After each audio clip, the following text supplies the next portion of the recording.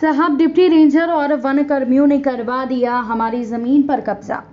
शिवपुरी अमूल पठा के आदिवासियों ने वन विभाग के अधिकारियों को ज्ञापन सौंपा। ज्ञापन में आदिवासियों ने बताया कि वो रेंज की ज़मीन खेतीबाड़ी कर अपना गुजारा करते थे।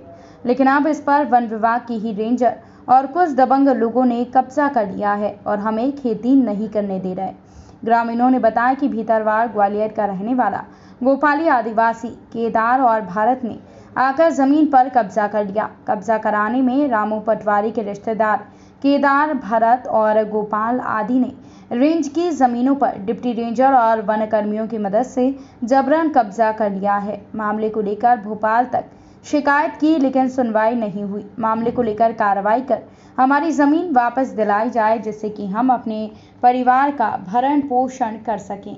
नाम है तुम्हारा? मेरा नाम फुक्खन आदिवासी है सर। कहाँ से आए हो? आमूल पठा से।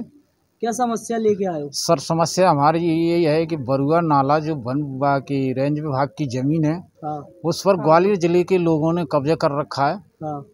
और हमने तीन बार सीसीएफ साहब के पास लगा चुके हैं लेकिन उस पर कोई कार्रवाई नहीं की जा रही है। रेंजर साहब को आवेदन नहीं दिया आपने?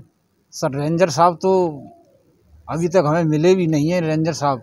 हम्म, डी साहब के पास भी आए थे हम हम्म, एक बार आए वो मिली नहीं हमको ऑफ़िस है हम्म, इसलिए हमने सी ओ साहब एफ़ सी सी एफ़ साहब के पास तीन बार आवेदन लगा चुके हैं लेकिन उस पर कोई कार्रवाई नहीं कार्रवाई भी की होती है सर।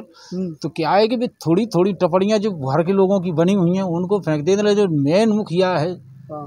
उसकी तो कोई कार्रवाई नहीं की जा रही है।